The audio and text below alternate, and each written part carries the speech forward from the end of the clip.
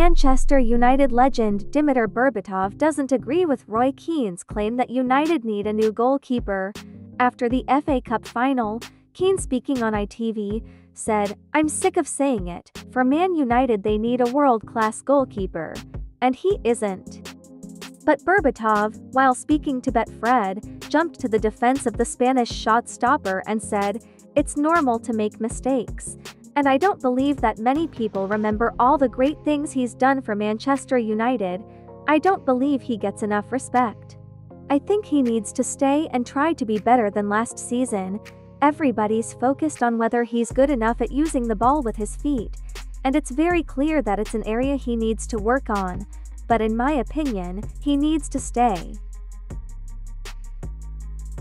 Jurrien Timber, while speaking to Vandaag Inside, said, I'm not in talks with Ajax now. My agent and I had a good talk a few times, but it's not like we're talking about anything right now. If I say I'm leaving, it has to fit. Playing style is important. Playing minutes. Participating in the prizes is also important. My favorite country? I dare not say that. Arsenal have reportedly put in a £30 million bid for the 22-year-old, but Ajax will be willing to hold out and rather wait for bids around £50 million. Napoli president, De Laurentiis, while speaking at a press conference claims to have a verbal agreement with Victor Osimhen on a contract extension.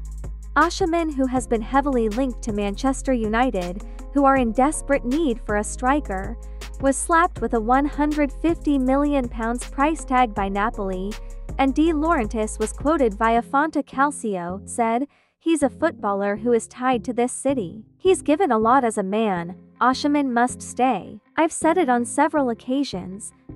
But the Italian did go on to add that if a mega offer did come through, it would be hard for Napoli to say no.